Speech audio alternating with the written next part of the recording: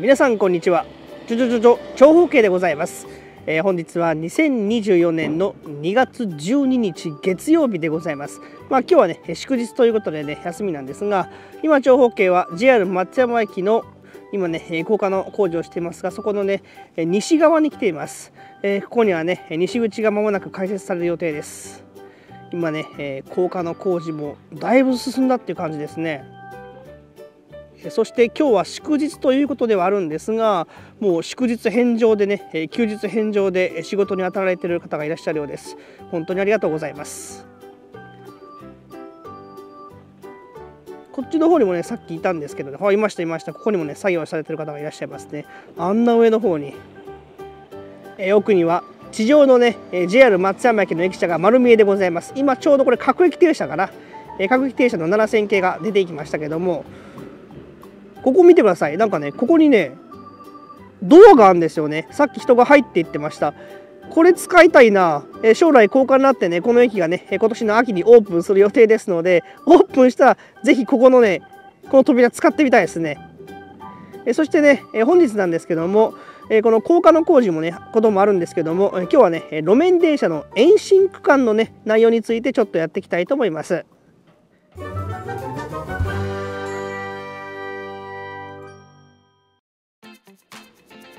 で路面電車なんですけどもちょうどここにこう空間が空いてますよねこれめちゃね空間が空いてるじゃないですかこの空間の下をね、えーどうやら通ってくるみたいでして、えーここまで来ましてですねそして、え向こう側に向かって抜けていきますそして向こうにねフライブック通りというね大きな通りがあるんですがそこの手前までね路面電車が延伸するというふうに今のところはなってますでその横はねこれ伏線の伏線というかこう2車線2車線の大きな道路がつきますで道路はまあ、ここには道路ないんですけどね、えここはだから広場みたいな感じになると思うんですが、ここまで来て、ここから先がこう道路がつくというね、そんな感じです。さあ、えーそれではね、えーこれから路面電車の延伸区間およびね、道路の、ね、各工事をやってるところにね、行きたいと思うんですが、いやなんかちょっと心配なんですよね。何が心配かっていうと、ちょうどね、前にその動画を上げた時にね、この近くに住んでらっしゃる方にね、えーお会いいたしまして、12月には結構もう立ち退くって言ってたんですよね。だから、今ちょうどあそこですね、ここのところからこう伸びてきて、こう伸びてきて、多分この向こう側に行くんだと思うんですが、だからこの横はもう道路になってるはずですからね、ここも多分いずれ、えーね、立ち退かないといけないんじゃないかと思います。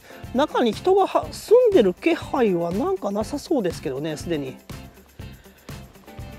えーはい、えーということで裏側にやってきました。なんかここにめちゃくちゃ土が盛られていますね。いや前はこんな感じじゃなかったんですけどあなんかとうとうここもなんか本格的に工事が始まったというねそんな感じがしますえーここの家もなくなってるっていうか壊してる最中ですねいやすごいなこれ。今まさにここがねさら地になろうとしているところです。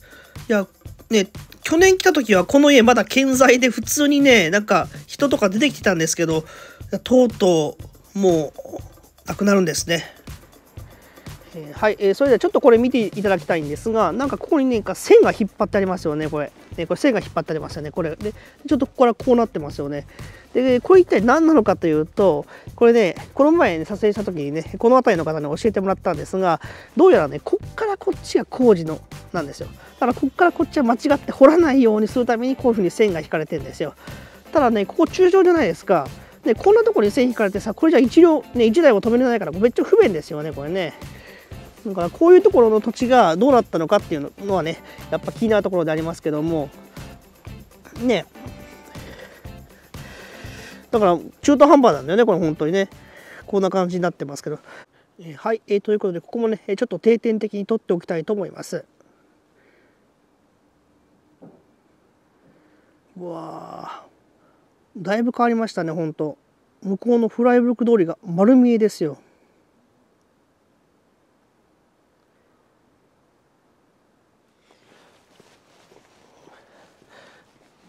さあ、えそれではいつものようにね歩いて見ていきたいと思うんですがとうとうここの家もねこうし始めました。ここ前ね建ってたんですよ。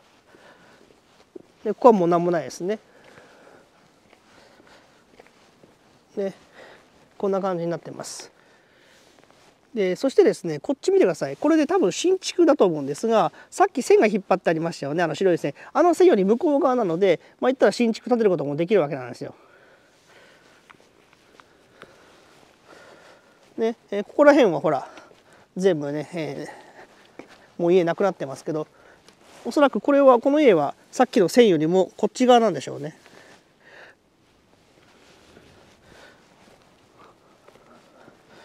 いや本当にもうこの辺りがガランドとした感じですね。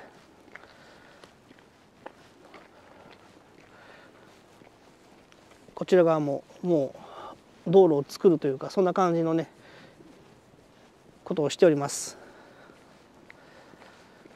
うわーなんか本当になんか涼しいというかななんていうか開けたね本当に。これね私が動画始め撮り始めたの何年前かな？多分3年ぐらい前から撮り始めてると思うんですけどその頃はね周りね家ばっかだったんですよ本当。家が全部これ全部家が建っててここら辺はなんかすごくね古き良き日本の路地裏って感じがしたんですけどこれ、ね、卓球教室ありますけど多分この卓球教室のほら一部もね多分持ってかれるんじゃないかなと思うんですよね。ほらこれこの感じ見てみるとここまで来てますよね。ね工事してるところが。だから多分この卓球教室も部分的にほらこの分まであの辺りまではなくなるんじゃないかなと。駐車場がね。しかしこう見るとすごいでかい道路を作ろうとしてるのが分かります。まあそれはねだって市内電車が真ん中に2本来て左右に2車線あっておまけにねその横に歩道もあるわけですからね。それはめちゃくちゃでかい道路になりますよ。そしてここにもねマンションありますけどもおそらくこのマンションの駐車場も一部ねなくなっちゃうんじゃないかと思います。夕日が眩しいな。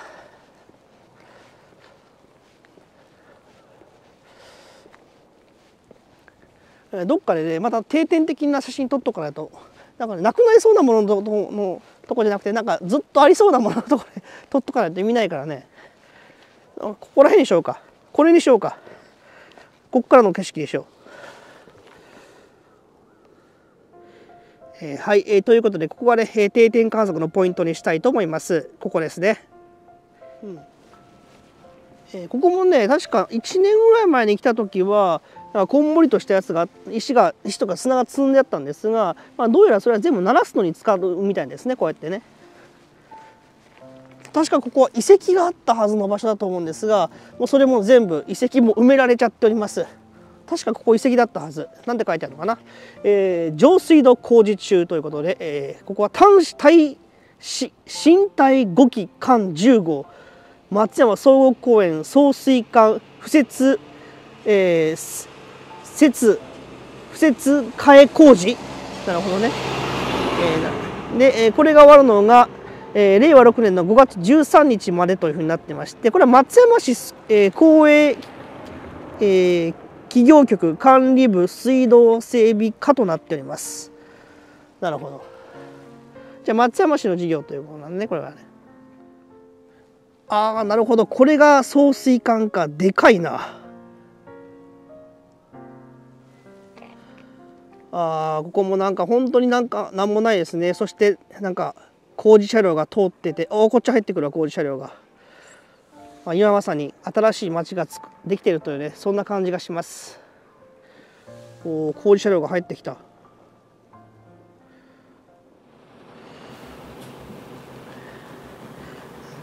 今まさにね車両を下ろすところですねこれ。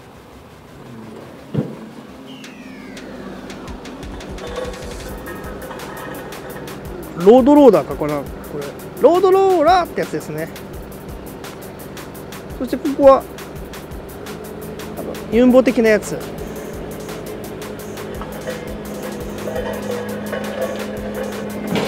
おお降りれた。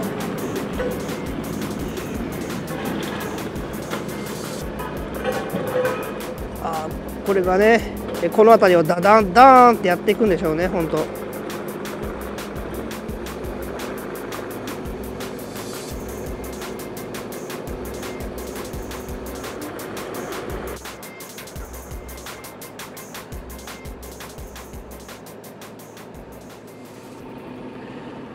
はい、えー、ということでですねこちら側がね前もご紹介しましたけどもなんかえーと、建物ができていますね。工事事務所というやつでしょうか。前もご紹介しましたけど。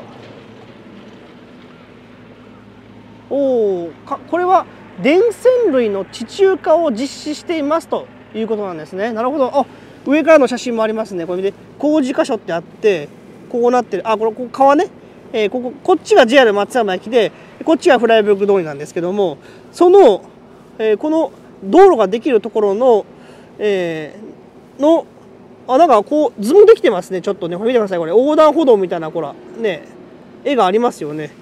でえこっちにもおおなんかそれっぽいのがあるぞこれ。こんな感じに作るってまあ実際にはこれ真ん中に路面電車あるからあのこれとは違うと思うんですけどもこんな感じでこういう送電線この電線共同校あ電線共同校の中のこういうのをね作ってるとねいうことだそうです。あなるほどね。いろいろあるんだね。ケーブル電力のケーブルもあるし共同校っていうのがあってその中にいろんなやついろんな会社のいろんなケーブルが埋まってんですね。なるほどね。こんな感じで埋まってるんだ。へえそして ICT を活用した工事ですというふうにも書かれています、えー、ICT ショベル 3D マシンコントロール 3D マシンガイダンス。すごいな。どういうこっちゃ？はあ。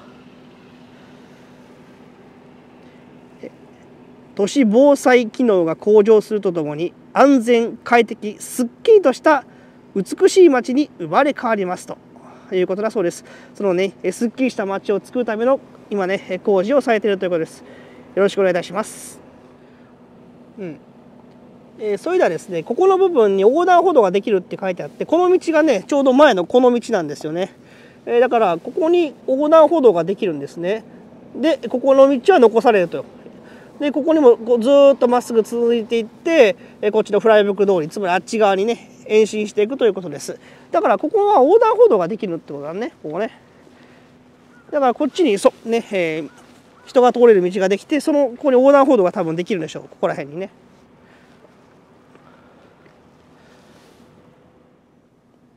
えー、はい、えー、それではですね、えー、いよいよ最後の区間になってくるんですがここね前はね平たかったんですよね。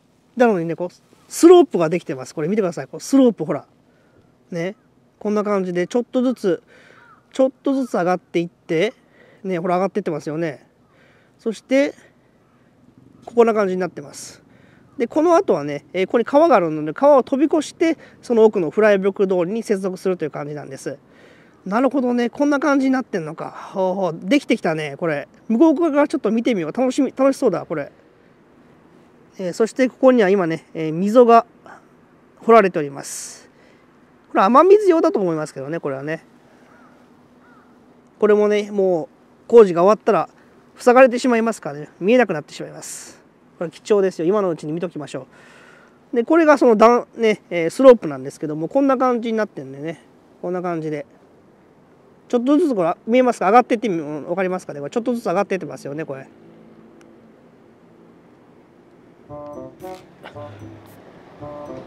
そしてねおそらくこれ一時的なものだと思うんですがなんかやばいぞこれ。上がすごいことになってるこれ。ねほら。ね。えー、架空船注意せよと書いてますけどすごいね。これやばい。なんかめちゃめちゃになってますよこれ。これ多分もうのけるはずですよねのけるっていうかまあ撤去するはずですよだって道路の真ん中にあるわけでしょこれこれ今だけの光景にしてもすごいな。え、はい、え、ということでここもね、え、定点観測のポイントということで撮影しておきます。今後ここがねどんな風に変わっていくんでしょうね本当。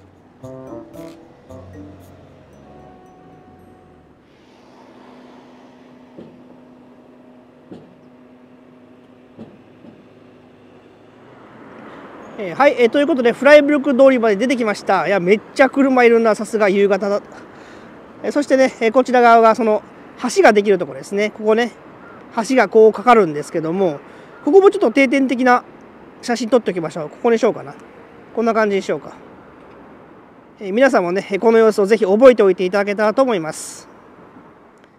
えはい、えということでね橋のたもとまでやってきました。ここまで上がってんね。私の身長よりもちょっと高いぐらいかな。これ多分ねそんなもんでしょう。そしてここにね前もご紹介しましたけどここにねいっぱい棒が出てるんですがね出てますよね。だからここはだからその橋の橋橋橋の橋っていうかね橋の端っこの部分なんだよね。だからやっぱこの高さまで上がるって前言ってたけどやっぱり上がってますね実際にね。えそしてね、えそのうちこちら側にもそういったものがつくはずです。ね。こっち見ていただくとここはまだ結構急な斜面なんですよねここは結構急な斜面になってますけどもだからここまで上がってきたからあとこういうふうにちょっとずつこう上がっていってこういうふうにねつながるんだと思います。それではこの部分もねちょっと定点的に取っておきましょう。まあだからこう見るとね分かりますよね。結構こういう感じでぐーっとこう上がってきているのが分かります。ね上がってきてますよね。こんな感じで上がってきています。でさっきのこれが ここか。このやばい、えー、やばい電線がここですね。こんな感じになってます。であとねこの部分見てください。多分これはねもともとあるやつでしょうね。なんか落ちてるけど。これね昔からあるやつでしょうね。このね劣化具合がな何とも言えません。南江戸5丁目と書かれてますけどだからこれが唯一残るのかなもしかして。いやこれもねこうなんかそのうち撤去されそうですけどねこれね。なんかこういう昔の構造物がちょっとでも残ってくれたらなんか私としてはねなんかありがたいってわけじゃないけどなんかああなんか懐かしい感じがするんですけどね、うん、だからこれは多分ここはこの道作った時にで作ったやつかなこれね。私私は小学校2年生の時だから1995年か6年ぐらいなのかなあれできたのここが。その時に作ったものが多分これなんでしょう。そしてねもうねちょっとこ分かんなくなってきたんですけどこれがもしかしたらね昔私がねあの通ったっていうねあの例の坂道なんじゃないかなと。だからここ埋められてますけど昔はここにもなんかちっちゃい川があったここにも川があったんですよ。でこのここからこういう風に来てこう上がったっていうね思い出があるんですよね。結構きつい坂だったんですけどこれねマイマザーが私をね、え、後ろに乗せた状態でこの坂をね上がったっていうの思い出があります。多分これだと思います。なんかね若干ね雰囲気違うんですけどねでもそれ以外に痕跡見当たらないしこここうカーブしてますからね。ね、雰囲気が若干残ってます。チャンネル長方形の初期のね、動画でも、まだここに川があった頃に登った様子がね、出てますけど、いやー、なんか、これ残ってくれるのかな、これ。えー、はい、えー、それではね、お決まりのいつものこの暗さになりました。いやーね、今回ね、あのー、見て思ったんですけどね、なんかやっぱ変わり方がね、急なんですよね。えー、実はねここの動画ってねあの6ヶ月スパンぐらいで出してたんですけどもそれだと間に合わないんでこれからはねまあ23ヶ月とかね2ヶ月とか結構短いスパンで、えー、この動画もね、えー、やっていきたいと思います。いやそういうしてもねほんと家もだいぶなくなってねだか前もなくなったなくなっていってるんですけどどんどんなくなってきておりましてここに本当にねなんか今まではこう道がつくなんてさなんか本当なのって感じがしたんですけどもう道つくの分かるじゃないですかこれね。もう道つきますよね。そして市内電車の電停がこの辺にできるのかな？ちょっと分かんないんですけどね。そこまではまだデータが出てないんですけどまあ多分この辺までね市内電車が伸びてくるんじゃないかと思います。えそれではチャンネル長方形ではこれからも引き続き四国の鉄道乗り物観光そしてね連続立体交差事業や土地区画整事業の様子やっております。え毎週土曜日の夜22時45分からはえライブ配信もやっておりますのでよろしければご参加ください。えそれではまた次の動画でお会いしましょう。えチャンネル登録そして高評価よろしくお願いいたします。それでは最後いきますよ。せーの。ちょちょちょちょじゃんけんじゃんけんぽん。はっはっはっはっは皆さんこんにちは。ちょちょちょちょ長方形です。はい。愛媛県松山市からお送りしているチャンネル長方形ですがえ今日はね2021年の6月26日の土曜日です。で今やってきてるのはね、はい。JR 松山駅にやってきています。で今日ご紹介するのはねその連続立体交差事業に関わることなんですがチャンネル長方形ではね以前からこの後ろのね、え JR 松山駅付近連続立体交差事業について何度かねご紹介しております。でね、あのー、今日ご紹介するのは、まあ、それと並行して行われる路面電車の延伸計画についてです。このね路面電車の延伸計画についてもチャンネル長方形ではねあの前回の動画ではあのルートが大きく変更されたとかね、まあ、そういうのをご紹介したので、まあ、まだまだご覧になってない方はねぜひご覧いただきたいんですが今日ご紹介するのはそのね路面電車が実際にこうどういう風なルートになるのかっていうのをね、まあ、それをね、えー、一緒にの見ていきたいと思います、えー、それではよろしくお願いいたします。どうぞ。はい、えー、それではね実際のその延伸計画について見ていきたいと思うんですが今いる場所ねえここはね JR 松山駅前という有鉄のね、え市内電車今止まってますね。この路面電車市内電車というんですけどそこの停留所です。で向こうに見えてるのが JR の松山駅です。でまず延伸計画なんですがここにあるこの駅ね、えまあ、停留所ですね、えこことあちら側にあるんですけどそれがね廃止されます。で移転します。でどこに移転するかなんですがあのね松の木があるところあの辺りに移転します。えー、それではここは一体どういう風になるのかというとまずね、え向こうから来た列車はこっちに入ってくるんではなくてここからこっちに行きます。向こうの方ね。であの松の木の辺りに、え停留所が設けられます。そしてこの辺を通って延伸計画として向こうの方に進んでいきます。で次にこちらなんですけども、えー、ちょっとわかるかな、はい。えー、向こうにね横断歩道があります。でその横断歩道の辺りからこっちに入ってきてこの裏を抜けてこういう風に来ます。そしてこれ先ほどのこのね松の木のところの辺りにできる停留所に合流します。こっちからね多分だから延伸計画としては延伸向こうに延伸できないということですね。こっちから来たやつは多分こっち側にしか抜けることができません。で向こうから来たやつだけあっちに延伸していくことができます。なのでね、まあ、この辺りに今軌道が敷かれてますけどこれがもう全部なくなってしまうということですね。はい、それではね、JR 松山駅側にやってきました。先ほど長方形がいたところはそこですね。はい、でこっちから見てみるんですけど、向こうがね、松山市駅側。で、こっちからこういう風に来たやつは、こっちに入るんではなくて、ここを斜めに入ってきます。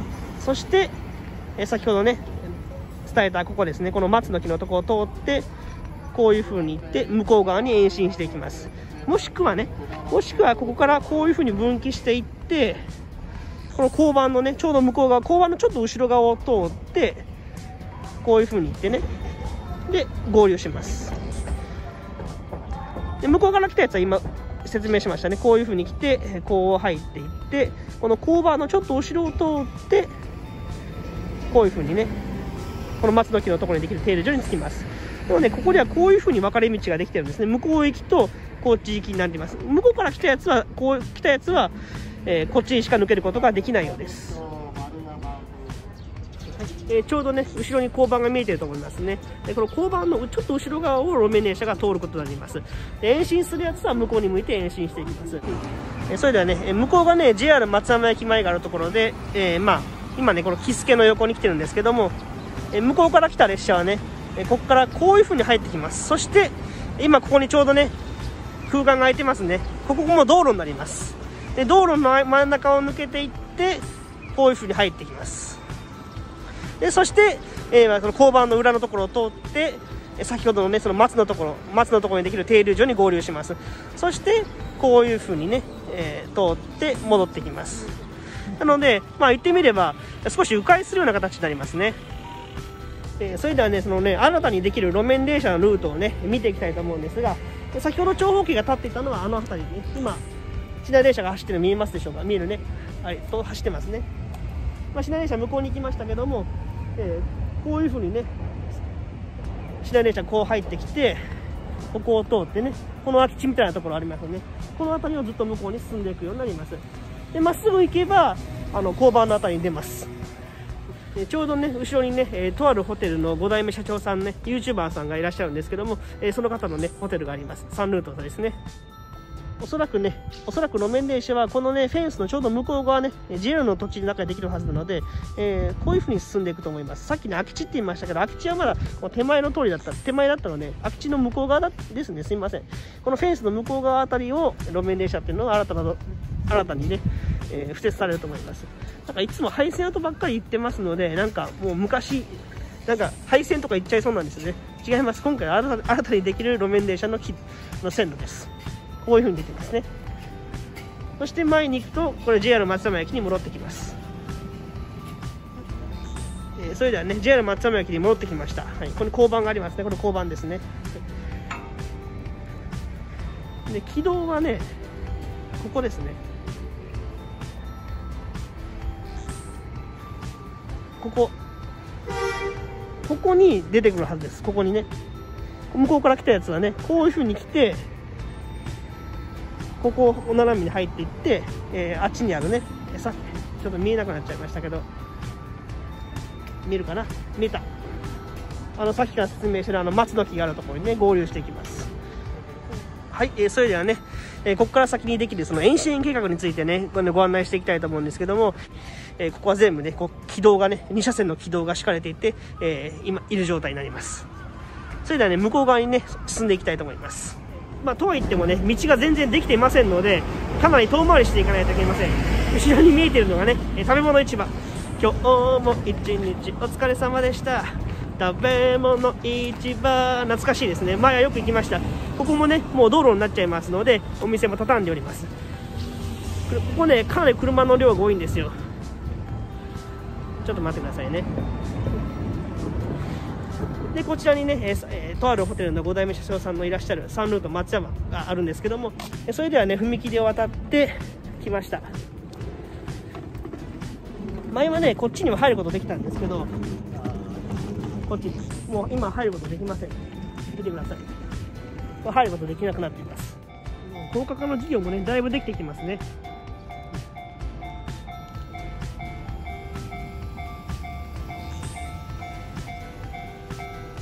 このね連続立体交差事業というのはね、まあ、この踏切ねこの踏切をなくすというのもね目的の一つになっていますまあ、ここね、なんでね、このこの踏切ってね、まあ、しょっちゅう遮断機降りるんですよ。まあ、なぜかというと、まあ、車両の入れ替えをするときにね、必ずこっち出てこないといけませんので、まあ、それでね、あのこの踏切っていうのは開かずの踏切と言われてたんですけども、まあ、連続立体交差事業によって、まあ、そのね、開かずの踏切がね、解消されます。いいことですね。そしてね、今ここに見えてる国民共済の建物、あの綺麗な建物なんですよ、とても綺麗な建物なんですけども、これもね、えー、壊すことになっていまして、あっちにね、新しくできました。でもうすぐするとね、今ね、新たにできたね、道に行くことができます。ここで、ここからね、入れます。でこれでね、えその将来ね、え道路ができるところまでね、行くことができます。まあ、こういうふうに見てみるとね、えー、もうかなりねその建物っていうのがま撤去されているのが分かると思います。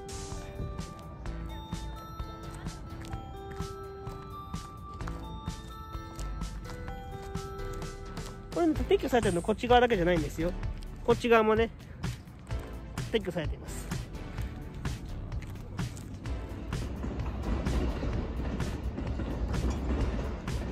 4両？かなか見ないな。うん、え、多分ねこの辺りだと思います、えー、路面電車が延伸してくるのはまあもっとこっち側だと思うんで道路の真ん中だからね。こういう風に延伸してきてこういう風に向こうに向かって進んでいくようになると思います。なのでもう数年後にはここにはもう道路と路面電車の軌道があるということですね。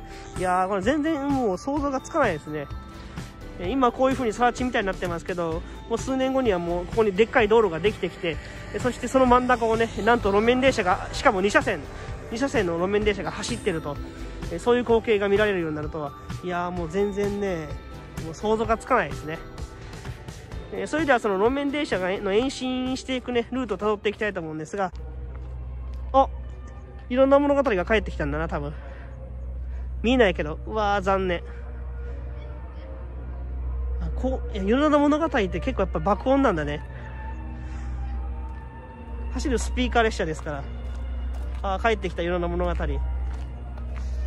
さあ、我々はね、え今日は路面電車の延伸計画ですから、いろんな物語にではなくてこっちに進んでいきたいと思います。まあ、こう振り返ってみるとね、えー、前景がよくわかりますけども、あのー、かなり広大な敷地ですよね。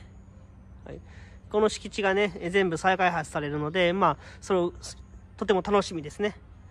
道路はおそらくこっち側に着くと思いますので、えー、このね、住宅地から一歩ね、横の通りに入っていかないといけません。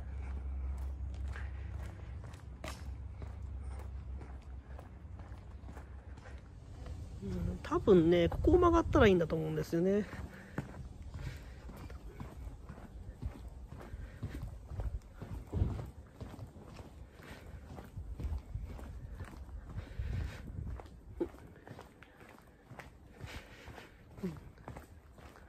ね、住宅街なんでね、えー、静かに静かにというかまあ落ち着いていきましょう、うん、この道だなうん、今ね、えー、ちょうど進んでる道ここがね、えー、拡張される道です。なのでまあこの今見えてる範囲に路面電車のね軌道が、えー、数年後にはね、えー、ついてるということになります。まあ、この道もね34メートルのねでかい道路に拡張されます。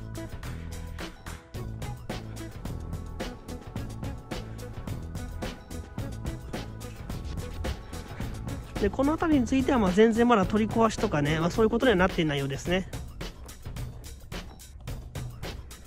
左右にはね比較的新しい建物も建っています。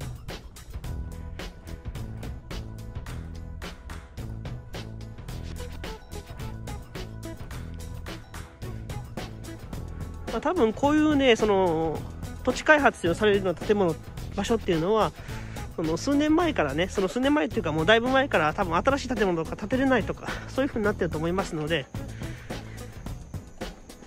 空き地が広がってるようなところはもう立ち退きというかそういうことになってるんじゃないかと思います。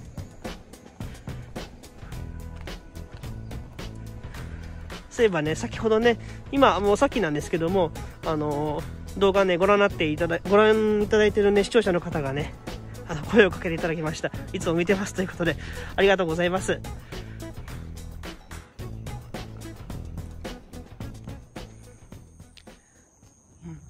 うん、こういうふうにね、あの、空き地がね、あの、わりかし目立っています。あ、これなんかもう、立ち退きしたんじゃないですか、これ。多分そうだと思いますね。あ、こっちの家もそうですね。えー、家の礎だけしか残っていません。立ち退きしたんだと思います、うん、でここはね将来的にはおそらく道路の中心部分。なので、まあ、路面電車が走ってるのはもう、まあ、本当にこの今長方形が歩いてるところの辺りをもう数年後にはね路面電車の軌道がこう2車線あって、えー、うーんっていう釣り掛け音や、えー、3VF インバーター、うーん、あ、両方とも同じだった。もう、あのー響かせながらね進んでいってるんじゃないかと思います。左右そうですね。見てください。この辺りやはりもうあの建物をね取り壊していますね。はい。そしてここはね遺跡が見つかった場所です。ここに書いてますね。発掘調査中ということでね、まあ、こういうふうにね、まあ、どこ掘っても遺跡って出てくるんで、まあ、こういうふうにね遺跡が見つかったりすると工事が遅れたりすることになります。まあ別にそれが悪いわけじゃないですけどね、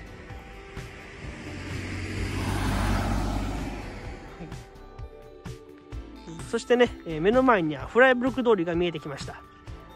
このね、フライブルク通りまでがその延伸計画になってます。なので、まあ、ここをね、あの、発掘調査が終わったら全部ね、道路になるということですね。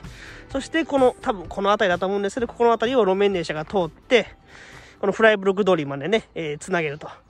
で、駅はね、どの辺りにできるのかどうかまだ決まってないんですが、まあ、この見えてる範囲に、その路面電車の電停っていうのはおそらくできてくるんだと思います。この見えてる範囲ね。この辺り。えそれではね、今来たルートをね、ちょっと振り返ってみたいと思います。はい。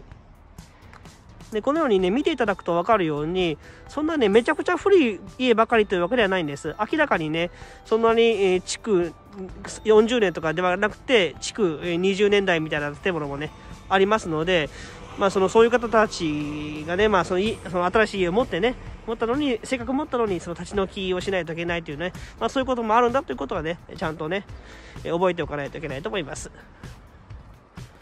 この辺りはわりかしなんか、立ち退きというか、もうかなり進んでいますね。うん、ここも、もう基礎だけしかなくなっています。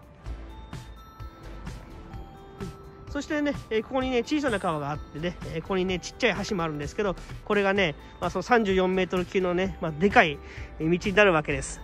えこんなね、この景色を見るのもあともう少し、もうこの小さいね、橋がね、えー、34メートルのでかい橋に変わります。まあ、もうそうなるとね、まあ、橋としてはもう、橋、橋があるということはもう全然わからないと思いますけどね。でかすぎて。この辺りもね、の割かしそんなに古そうじゃないけどもこのようにも撤去されています。あれボーリングかなこれ？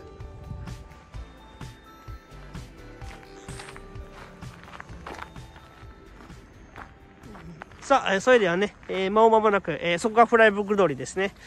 はい、大きな道路に出てきました、うん、このように後ろを振り返ってみるとね、えー、やだいぶね、えー、立ち退きというか、まあ、撤去が進んでいるのがよくわかりますはい、ここにね、小さな橋がかかってますけども、えこの橋ね、でかくなりまして、このね、向こうの通りとね、繋がるようになります。ここら辺全部橋、でかい橋になります。えそれではね、その橋を渡ります。これ、宮前川ですね。ここにもね、なんか書いてありますね。ちょっと待ってください。車がいますね。はい。ほら、見てください。はい。え土地計画についてという書いてあります。えそれではね、せっかくなのでね、えーバイパスまで出ていきたいと思います。いやーこの道もね昔よく通りましたよ。昔よく通ったっていうかねなんかねマイマザーに連れられてねその頃はね幼稚園だったので後ろに乗ってたんですよ後ろに。でこの目の前にねこうすごい坂があるんですけどこれ登ってましたよマイマザーは。チャリンコをこいで。やばいね。これ登ってたね。見えない。よいしょ。これめっちゃやばい。これチャリンコで登ってたの。はい、えー、ということでね、えー、環状線までやってきました。はい見てください。こちら。はい、えー、ここまで延伸されることになります。さあ、えー、それではね、え本日の動画いかがだったでしょうか、え今日はね、え JR 松山駅付近連続立体交差事業、まあ、それと並行して行われるね、え路面電車の延伸計画のね実際のルートについて見てきました。あのまあ、こういうふうに見るとね数年後にその工事がねもう行われて、数年後にはもうできている状態なんですけども、まあ、全然ね想像がつかなかったと思います、え、ただし工事というのは一度始まればねもうすごい勢いで進んでいきますので、まあ、これからね、まあ、その様子なんかもお届けできたらいいかなと思います、え、それではまた次の動画でお会いしましょう。チャンネル登録もぜひよろしくお願いいたします、えそれではさよなら。